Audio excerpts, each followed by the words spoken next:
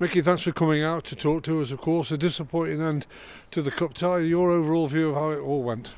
Yeah, it's obviously disappointing to get knocked out of the first hurdle, but um, credit to them. I thought they came and um, took the game to us. I thought they played really well. They've got some good players, and yeah, it's, it's really disappointing. We obviously wanted to try and get a cup run this year, but it's not the case. So we have to try and use it now and um, not let that, that affect us for the league. We've got a massive month coming up, and um, yeah, we've got to try not to allow this disappointing result to um, to feed into that. You're not on your own in terms of the results over the weekend. It's already was proved on Friday. It's been proved on Saturday. Probably get proved a little bit later over the weekend. But it shows that there's no real gap, is there?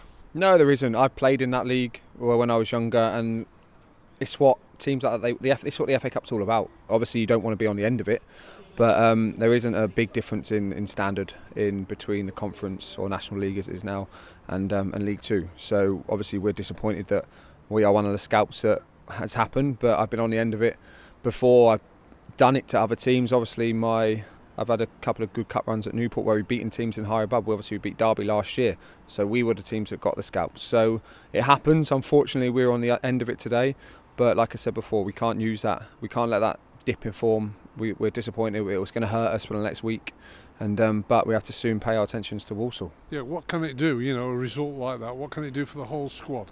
It can spur us on. Um, yeah, look, we, it's, you're saying the same sort of things. Like we we had a good month last month. Obviously, we started this month off with a disappointing result, and um, we have to go again. We can't we can't dwell on it. We like you say, we don't dwell on the wins and we certainly can't dwell on that result. Like I said, they they they maybe deserved the win with the way they played, and um, we had we had chances. We had a couple of chances first half. We had a couple of chances second half, and another day maybe one of those goes in, and, and we take the game to them more, and uh, and we go on and win a game. But look, they, I thought it was a little bit maybe soft on the penalty, but they get given, don't they? they I think he was on his way down with the view that I had. Yeah, he was on his way down before Phil caught him as well as the ball. So they, they get given. I think if it happened our way, we would have been disappointed if it didn't get given. So Phil nearly got a hand to the penalty, but we reacted. We we had chances after that as well. We took the game and they defended their box very very well.